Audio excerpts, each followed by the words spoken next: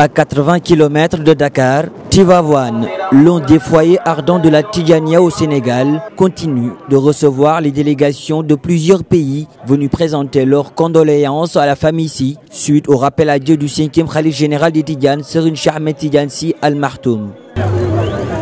Sous un soleil de plomb, une forte délégation marocaine arrive À l'accueil, Serine Mustafa Si, le fils du défunt calife. Cette délégation conduite par le conseiller du roi Oman Kabaj et le ministre marocain des Habouches et des Affaires islamiques Ahmed Taufir est venue présenter les condoléances du roi Mohamed VI et son soutien à l'endroit de la famille Si de Tivavan. En cette douloureuse circonstance, nous vous adressons ainsi qu'à vos proches et à l'ensemble des disciples du défunt et des adeptes de la tariqa Tijaniya au Sénégal l'expression sincère de nos condoléances et de notre compassion, priant le Très-Haut de vous accorder soutien et réconfort dans cette pénible épreuve. Un geste longuement magnifié par la famille du défunt Khalif. Par ma voix, le nouveau Khalif général des Tidjanes, Serine Abdul Azizi Al-Amin, vous souhaite la bienvenue. Ce message de Sa Majesté le roi Mohamed VI n'est que le reflet des liens spirituels qui nous unissent.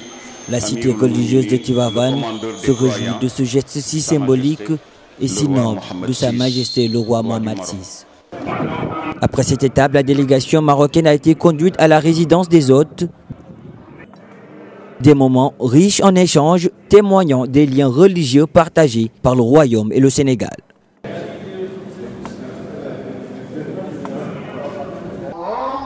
Dans la capitale sénégalaise, Dakar, les prières continuent d'être formulées à l'endroit de Cheikh Ahmed Tidjansi Al-Martoum, le cinquième calife général des Tidjanes rappelé à Dieu.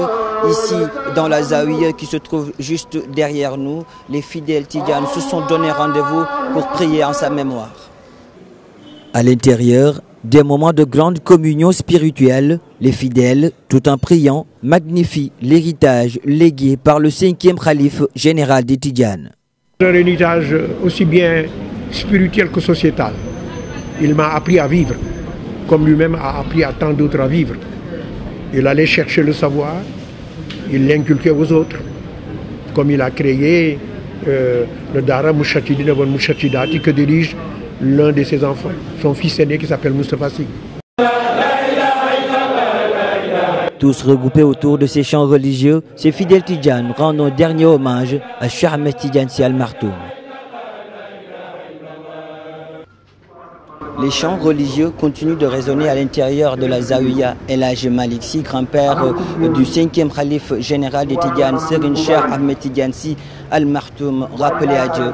Dans les autres foyers religieux du pays, des récitals de Coran, des prières ont été également formulées à l'endroit du défunt calife. Papa Cheikh Diouf, Dakar pour Médian TV.